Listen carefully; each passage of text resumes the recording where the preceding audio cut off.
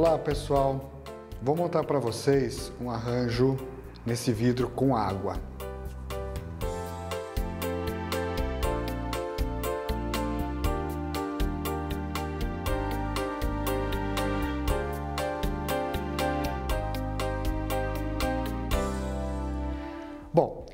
Nós vamos fazer um arranjo nesse vidro que serve como centro de mesa ou para uma assinatura floral. Eu vou fazer um modelo e depois isso pode ser replicado. Por exemplo, no centro de mesa eu posso fazer vários e colocar em cima de uma mesa.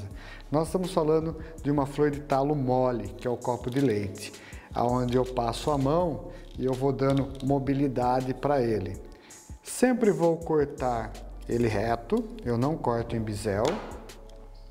E aí eu venho com jeito trazendo ele aqui, desde que o pé fique dentro da água. Algumas pessoas explicam para você tirar uma pelezinha dele, que isso ajuda a dar mobilidade. Eu não gosto de fazer isso porque isso prejudica um pouco a flor.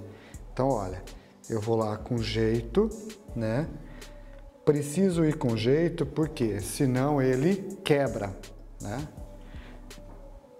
Então eu posso colocar dois de um lado, vir e trazer o outro para o outro lado.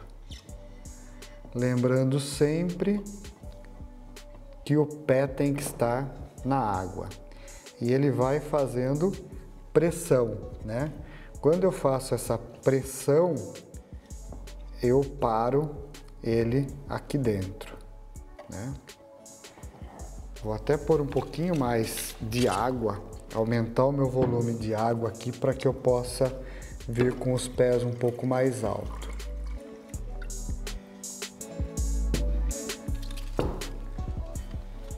Então aí, olha, nós vamos brincando com essa com essa água aqui.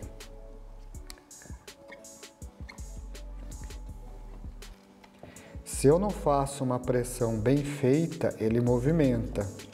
Então eu tenho que pôr ele bem firme aqui dentro para ele não movimentar. Por quê? Um copo de leite, ele é meio esponjoso, né?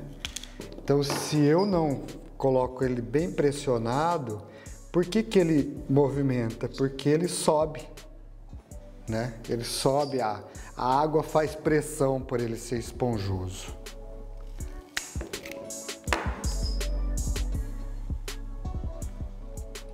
E também a gente vai com jeitinho para não quebrar.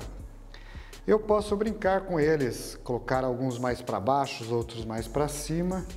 Eu gosto às vezes de deixar no mesmo nível. Eu vou ver se eu coloco só mais um. E aí já finalizamos.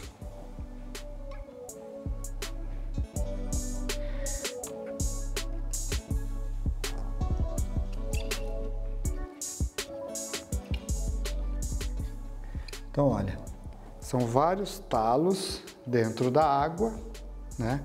Criando esse movimento para que eu faça esse arranjo. Então, um arranjo fácil de ser feito, né?